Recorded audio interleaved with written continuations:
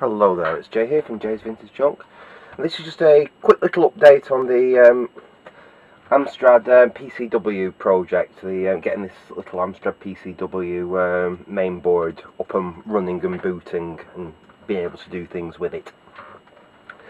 And I've just been basically having a bit of a play around. The first problem with this is um, was video output because these don't output basically they don't output composite video. They output a video um, signal and a sync signal. And you have to combine them together to get a composite um, output from it. Now what I have been warned I've been looking online on um, a few discussions on these um, PCWs and namely using these outside the actual computer. And it has been mentioned that it's very unwise to try and drive the signals you need directly off um, that there basically the video signals are generated by, um, let's call it the ULA. It's not a ULA, but it's basically the same type of thing. It's a um, CPLD or something like that. It's a little um, custom chip that basically, um, I think it does the, like the video, the memory management. Um, it creates the video signal. I think it creates the tone for the beeper and all sorts of little um, wonderful things and what I've been told is if you try and drive video directly off it you'll kill that chip. And I really really don't want to kill that for one of two reasons. One I'd hate to have to replace it because it's horrible soldering all these tiny pin pit thin pin pictures on that. Um, two I haven't got a clue where I actually get a replacement for that for one of these Amstrad PCW boards. So if I kill that I've basically the board scrap I mean, it's still worth the quid I paid for it just for the RAM and the CPU and uh, what have you off it, but I don't want to do that. I want to actually um, do something with this board. So what I've done is I've cobbled together, um, can you see this? Oh can. Uh, I've cobbled together this little circuit here. It's very, very simple. Basically all it does is it uses a couple of transistors as buffers. Um, so we take the signal, we're not really pulling anything off the signal, we're just taking the signal, buffering it with a couple of transistors and then we're combining the um, sync pulse and the video pulse together to give us a composite signal out. It's dirty, it's nasty, but it um, it does well at least it does work. It works uh, well enough for this initial testing. Obviously, I'm going to have to do something a little bit better if we get further on in this project, but it does sort of do for initial testing. Uh, what I've also done is I've used base, so basically this connection here is our um, video output. That is actually the keyboard connector and I'm cheating a little bit at the moment. What I'm doing is um, I've this board needed 5 volts to drive it so I've basically put the 5 volts for everything into here and then feeding the 5 volts back down here um, through the keyboard connector to power the rest of the um, board up the um, data and clock lines for the keyboard connector I've just brought over to this board and um, if I do get a keyboard someone has mentioned um, one of my uh, one of my viewers has mentioned that they may have a keyboard which um, they'd be willing to part with which if um, that's the case would be absolutely wonderful. But what uh, the plan would be basically is I'll stick the keyboard connector on there and I can pick the data and clock lines up for it. I just need a 4 pin DIN mounted on there and then I can power the board up um, nice and easily. I'm just feeding 5 volts into the board. And what I've um, done is um, I dug this out. Uh, basically, I, am not sure what you meant to get up on screen um, with the Amstrad PCW. It's a very, very, very long time since I even used one at all. I have repaired a few back in the very late 90s, basically when they were already obsolete and it was only the die-hard users were uh, sticking hold of them and they would refuse to get rid of their um, Amstrad PCW in the favour of PC. I had one person up until probably the mid 2000s, 2005, 2006. Um, she was a um, psychologist and she wrote up literally all her case notes and everything got wrote up on this Amstrad PCW. Um, I mean, she was getting on a little bit, and I don't think she really wanted to um, get a new computer before she retired or learn how to use a new computer. So I managed to keep that old. Um, that was a, um, I think it was a 9512. It was one of the later ones. I managed to keep that thing going all the way up until um, 2000 I think it was about 2005 2006 some sometime around then I managed to keep that thing going and she retired at that point and uh, bizarrely enough, her um, son bought her a um, Apple Mac laptop as a retirement present. So uh, I think she went the Mac way after that.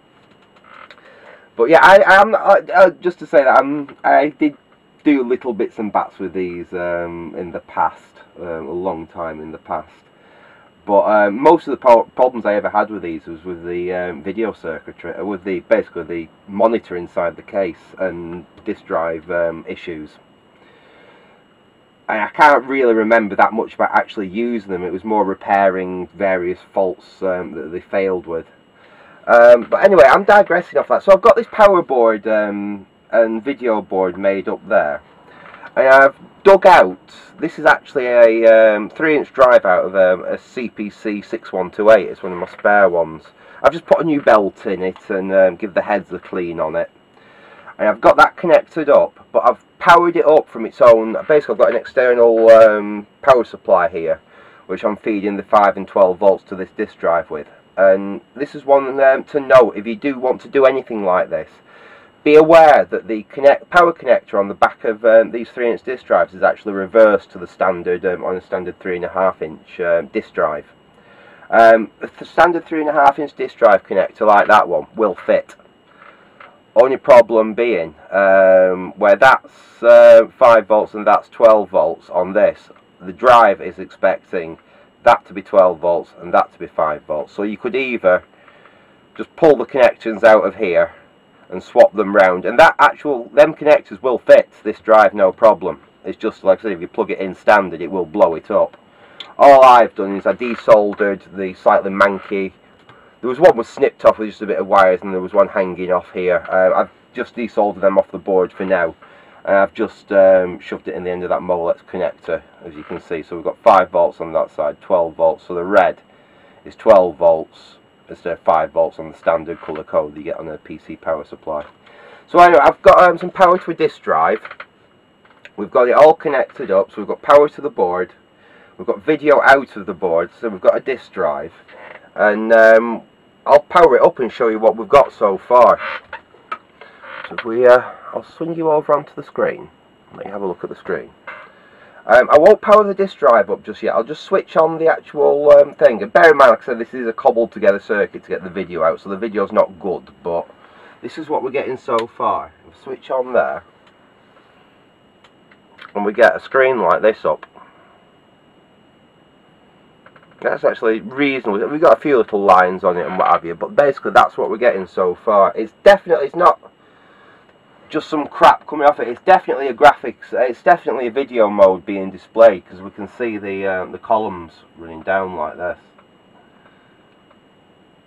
So it's not the best um, video signal in the world. Um, we can adjust it. That's why there's two pots on this board. We can um, play with it a little bit, get it a little bit darker and a little bit, a little bit brighter. That's about the best I've got it so far. But what we can show, I will switch this off now. Now, there's no way we can boot this thing. This is the other thing I know. I can't remember what um, a PCW actually does when you first switch it on before you put a disc in. Does it just come up with a screen like this and not come up with a prompt or anything? Like I said, I really cannot remember. It's that long since I um, fiddled and faffed about with these things. Anyway, let's just uh, knock that off for a sec. But what uh, I have, I've not got any PCW software at all. Um, but I've just found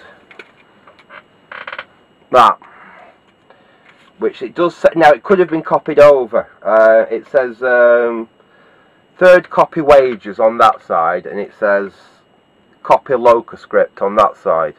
So I'm guessing this has come out of a come from a PCW it could have already been formatted over and it could have Spectrum software or it could have um, could have Tatung Einstein software because I've got a Tatung Einstein. It could, or it could have Amstrad 6128 software on it. Uh, I don't really know, but I thought um, we could use this to try. So basically, I'm going to shove this in the drive.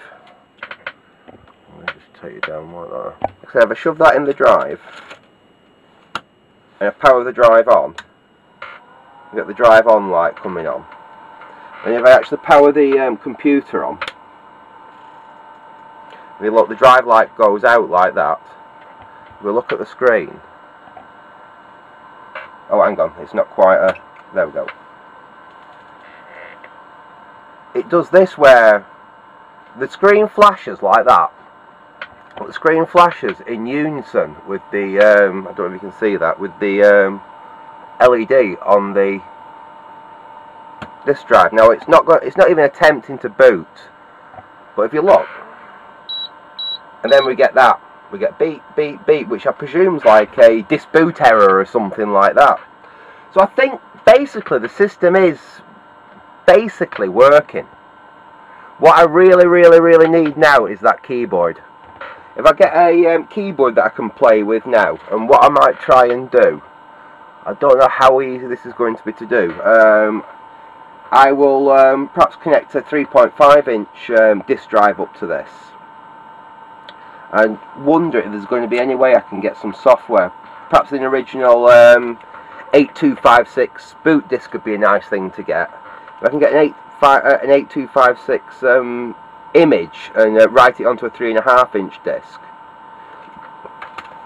replace this drive with a 3.5 inch drive and we'll actually see if we can get the thing to boot like I say, if you know more about the PCWs than I do, which, like I said, it's a long, long time since I did anything with them, and I don't, I've never had a huge amount of um, input with them, like I've repaired a few in the past. Um, but if people could tell me whether what I'm getting up to now is um, indeed normal from a computer without any software or anything booting on it, whether I need the keyboard in to get any further, um, whether anyone knows any software I can use on a PC to actually create a um, a boot disk for this thing would be nice. And I'll carry on doing a little bit more research. But I thought I'd do a little video just showing you uh, how far I've got so far. Because I should really be working on some other projects. But uh, when you get a new thing in like this and you, you just want to see whether you can do something with it, you, you can't resist the temptation. You do have to have a, um, a little bit of a play. So I'll probably put this away for now actually. It can go back in its static bag. And um, I'll await any interesting answers I get off people, what they think um, about how it boots and what I can do with discs and things like that. And hopefully I'll be able to get a keyboard for it and we'll be able to take it that little bit further. So I'm going to leave it there for now. I hope you enjoyed that little update on this project. So uh, thanks for watching and uh, goodbye.